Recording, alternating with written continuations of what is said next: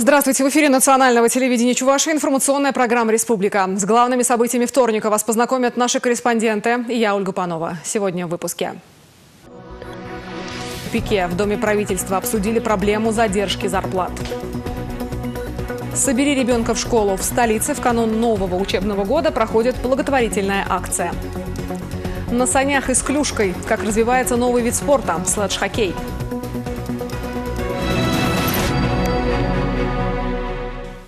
Долги перед работниками предприятий «Чувашавтотранс» и «Чувашавтодор» будут погашены в сжатые сроки. Какие для этого предпринимаются меры, обсудили в Доме правительства. Сегодня на свое первое заседание собрались члены межведомственной комиссии по вопросам своевременной выплаты заработной платы. Тему продолжит Дмитрий Ковалев. Ранее у нас было несколько комиссий, которые создавались при министерствах и ведомствах. Но для повышения эффективности работы мы объединили их и будем работать в новом составе на результат по конкретным темам и проблемам. У членов вновь созданной комиссии работы непочатый край. Долги перед работниками предприятий республики превышают 25 миллионов рублей.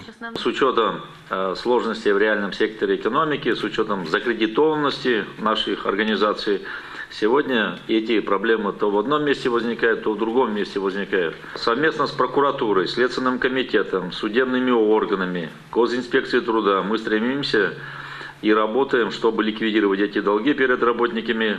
В списке должников 20 организаций, лидер антирейтинга предприятия «Чувашавтотранс». Гендиректор Сергей Фомичев делает амбициозные прогнозы. В ближайшее время крупнейший перевозчик республики должен войти в ровный режим работы без убытков. И тогда работники будут получать зарплату без задержек.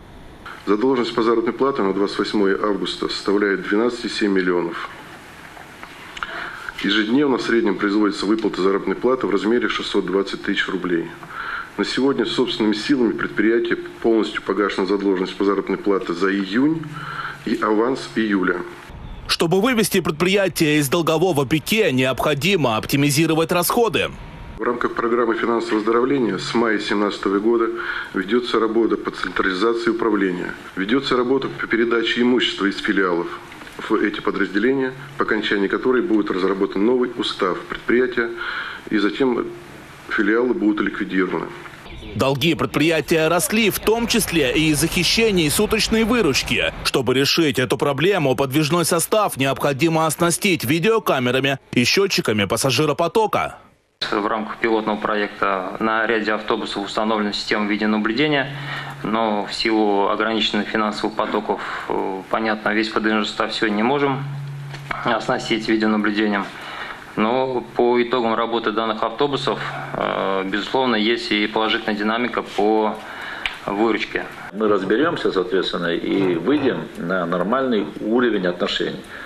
Все тогда будет нормально, и коммерческие организации по перевозке пассажиров тоже будут зарабатывать. По маршрутам надо смотреть. Сейчас городские власти и муниципальные власти, соответственно, сельские местности переводят определенные межмуниципальные там Министерство транспорта должны смотреть на эти вещи, какие маршруты будут выгодны прежде всего для пассажиров. Тревожные звонки поступают и от работников предприятия «Чувашавтодор». Более 800 человек уже больше года не могут дождаться заработной платы. 52 миллиона а у нас является эта задолженность по заработной плате а, которую а, мы планируем все-таки погасить до Нового года. Погасить долги в полном объеме предприятие «Банкрот» может только распродав свое имущество. Но эта работа буксует. Проверки показали, что реализовать ликвидные объекты было возможно в более сжатые сроки. 8 августа 2017 года обеспечено получение положительных заключений на имущество базы отдыха «Дорожник» с подтверждением рыночной стоимости. Насколько я владею информацией, это около Волжской зори, да, там, где вот Суктерки, так? Волжанка. Где? Волжанка, да ликвидное место на берегу Волги. Согласно федеральному Почему закону... на торге это самое не выставили вы? Согласно федеральному Что закону о банкротстве, я должен собрать комитет кредиторов, на котором утвердить должен положение. Утвердили? Утвердил положение. Когда? А, на сегодняшний момент, 12 а, октября, будет выставлено данное имущество торги. Работать надо с честью и достоинством, выполняя свои прямые функциональные обязанности. Вы прекрасно знаете, что сегодня говорить о том, что торги состоятся с первого раза, тоже некорректно. И говорить о том, чтобы вы в октябре проведете эти торги, и таким образом имущество будет отчуждено, тоже это таким образом я расцениваю как некое введение в заблуждение. Глава республики отметил, что затягивать торги недопустимо. Также Михаил Игнатьев потребовал составить подробный график погашения долгов. За этой работой наладят тотальный контроль.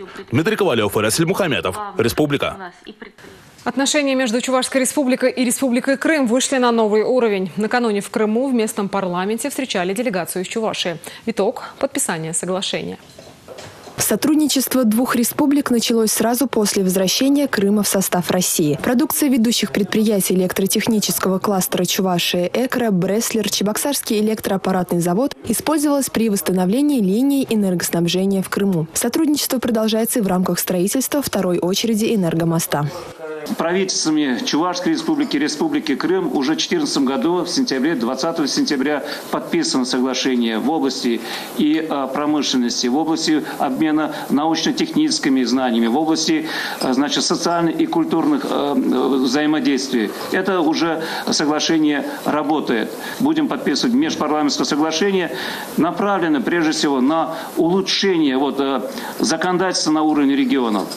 Отдельное внимание в ходе диалога стороны уделили вопросам социально-экономического выравнивания и развития территорий. Мы, конечно, вышли уже совершенно на другие качественные показатели. У нас э, растет очень серьезными темпами валовый региональный продукт промышленность э, растет, э, по сельскому хозяйству очень хорошие показатели. У нас со многими регионами уже выстроились устойчивые экономические отношения. Крым интересный регион, как для вложения инвестиций, так и для э, отдыха и многих культурных обменов. В общем, есть чем заниматься на межрегиональном уровне. Расширение сотрудничества позволит усовершенствовать федеральную и региональную законодательную базу. Межпарламентское соглашение будет включать в себя подготовку совместных общих обращений, анализ нормативно-правовых актов и осуществление контроля за исполнением законов. Татьяна Филатова, Республика. Совсем скоро прозвенит первый звонок. В новом учебном году в республике за парты сядут 134 тысячи 470 учеников. Среди них есть и те, кто начнет и продолжит учебу в новых школах. Речь идет об учениках Кашмашской средней школы Маргаушского района. Этот вопрос еще раз подняли на совещании у главы республики. Надзорные органы запретили открывать школу в этом учебном году. 80 ребят будут учиться в Сетрокосах и Маргаушах. Школьные автобусы с дополнительной нагрузкой вполне справятся, считают в Минобразовании республики. Михаил Игнатьев еще раз подчеркнул, жизнь и здоровье детей главнее всего. О ситуации на сегодняшний день рассказал министр образования. 11 человек пока на данном этапе не определились, они определятся сегодня-завтра. Уведомления им значит, э, заказным письмом отправлены, они определятся, мы будем способствовать этому. Что касается детей, э, значит, мы этот вопрос закрываем. Что касается учителей, их всего 16 э, педагогов. Один уволился, один уволился. Далее три совместителя, они работали в Маргаушской средней школе. Три отказались трудоустраиваться, им было предложено место для трудоустройства, это пенсионеры. Остальные педагоги, они вот буквально сегодня-завтра определятся с местом работы. Судьба учеников и учителей находится на контроле правительства республики, так что эту тему нет смысла поднимать еще раз, тем более людям, которые не очень в ней разобрались, отметил глава Чувашии. Там от имени народа, от имени родителей выступают. Они как адвокаты начинают э, на самом деле э, на пустом месте создавать э, резонанс. Это уже вот публичное мероприятие было один мужчина как начал, соответственно, мы его выслушали до конца, вся аудитория, потом начинаем вопросы задавать, а он в отдельных вопросах даже не в теме. Вопрос с администрацией района проработан. Проблем быть не должно, а создание комфортных и безопасных условий для обучения детей – это принципиальная позиция правительства республики, подчеркнул Михаил Игнатьев. Родион Архипов, Расиль Мухаметов, Республика. Школьные сборы чудесные. В Чебоксарском комплексном центре соцобслуживания будущим первоклассникам сделали подарок к новому учебному году.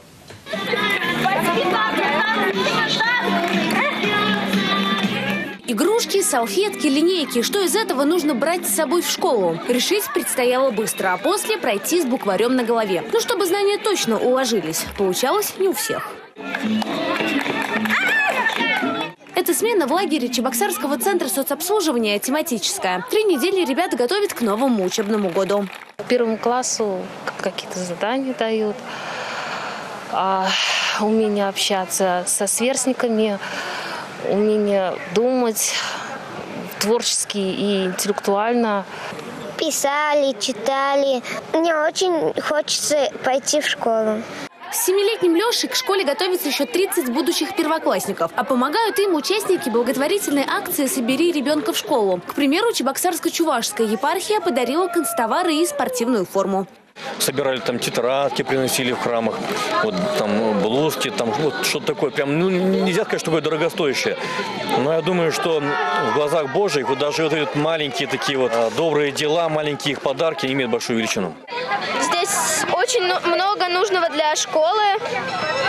Папки, тетрадки, дневник.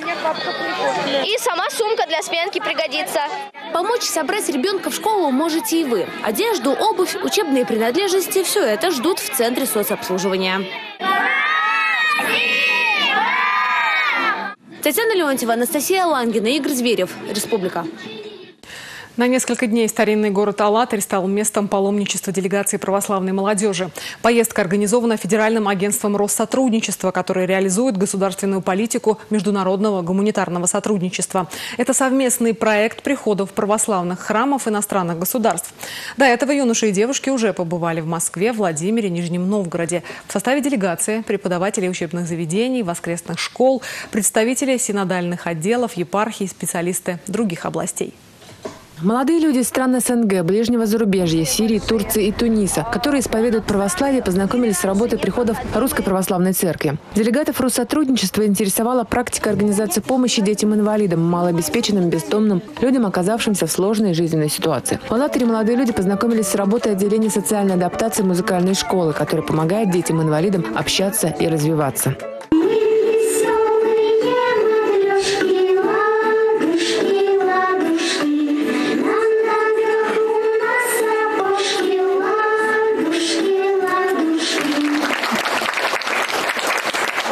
Посещая этот центр, это э, очень такой необычный, восхитительный опыт.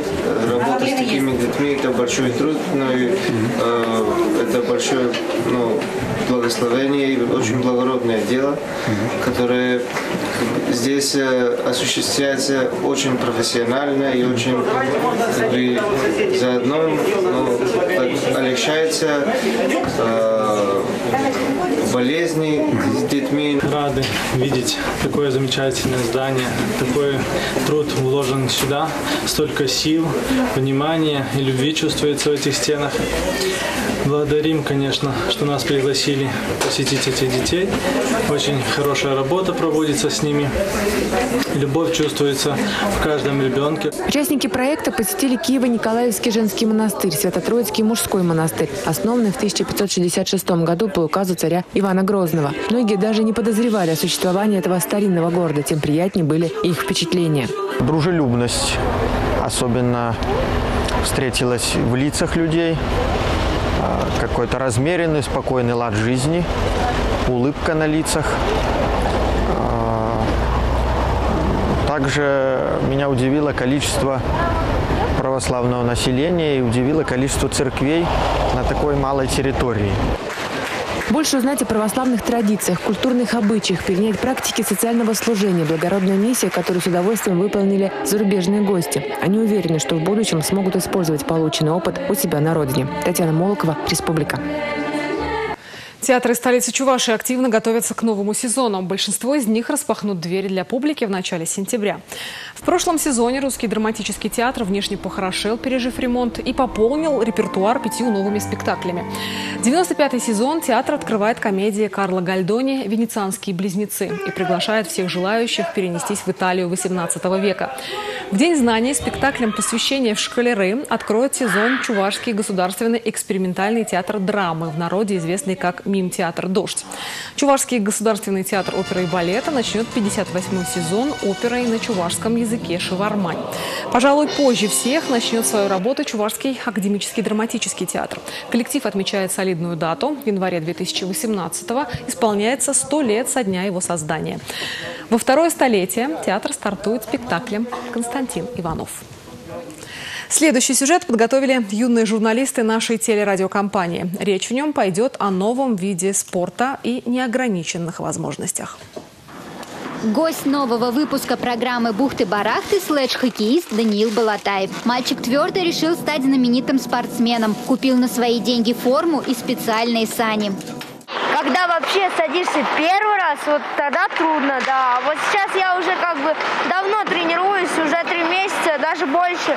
И мне уже как бы легко. А вот человеку клуба КХЛ, э, который обычно хоккеист сел в сани и даже поехать не смог.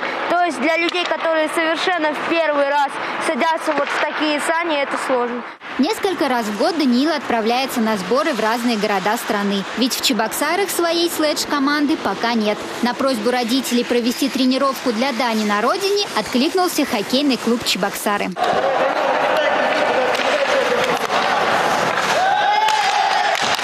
Я не боюсь э, даже разбить лицо. Я знал, куда я иду. Я знал, что это вообще за спорт, что это жесткий знаю, какие там травмы бывают. Вплоть до проблем очень серьезных. Я к этому готов, потому что хоккей – это мое призвание. Я очень люблю хоккей. Получить новую специальность или повысить уже имеющуюся квалификацию можно в учебном центре «Нива». Репортаж об этом смотрите далее. А я, Ольга Панова, с вами прощаюсь и до встречи в эфире национального телевидения Чувашии. 40 лет учебный центр «Нива» готовит специалистов для сельского хозяйства. Самые популярные профессии – тракторист, сварщик, оператор АЗС и другие. Всего в списке образовательных программ подготовка по 200 направлениям. Одна из востребованных – подготовка специалистов по безопасности дорожного движения. Направление, которое требует серьезного внимания, это консультант по вопросам безопасности перевозки опасных грузов. Поскольку если в организации переводятся грузы повышенной опасности, э, это опасные грузы, они должны обязательно назначаться. Консультанты проходят обучение тоже два месяца. Основное направление работы – подготовка водителей всех категорий. В учебном центре пять современных автодромов, более 130 машин и тракторов. Ежедневно здесь сдают экзамены и будущие трактористы, и будущие водители. В прошлом году более трех тысяч человек получили права категории «Б» и около 900 права на вождение трактора. Недавно в учебном центре появилась новая услуга – обучение вождению на квадроциклах. Когда наша семья приобрела мототехнику, стала необходимость получения прав на эту значит, на, эти, на эту категорию. И мы решили, значит, э, учиться именно здесь. Сейчас ужесточились правила сдачи экзаменов по категории «Б», поэтому в учебном центре уделяют большое внимание качеству подготовки будущих водителей. Здесь есть тренажеры, первоначальные навыки, ученики у нас получают на тренажерах. Машины есть и новые, и старые, но за старыми мы следим, все равно ухаживаем за ними запчасти, если что сломалось, нам сразу приводят, меняем. Ну, в общем, они у нас в исправном состоянии. В учебном центре продолжают и традиции подготовки специалистов для аграрной отрасли. Особенно популярны сейчас ветеринарный врач, фермер, аппаратчик обработки зерна и другие. В этом году открыли дополнительное э, структурное подразделение в э, село Калинина на базе бывшего училища. Также сейчас собираемся открывать значит, Шумерле, Аллатере. Мы собираемся охватывать весь э, всю, это, всю республику. Учебный центр «Нива» – государственное предприятие. Здесь работают преподаватели, имеющие большой производственный опыт и стаж работы. Многие имеют научные степени. После обучения в центре слушатели получают сертификаты и дипломы установленного образца. Специалисты, прошедшие здесь обучение, всегда востребованы и всегда находят работу.